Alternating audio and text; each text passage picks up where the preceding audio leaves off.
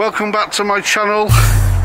Today we're over in Jaguar Land Rover over in Wolverhampton where they make the engines for the Jaguar Land Rover. Make petrol and diesel engines here. So we've been to gate 2, got the drone up.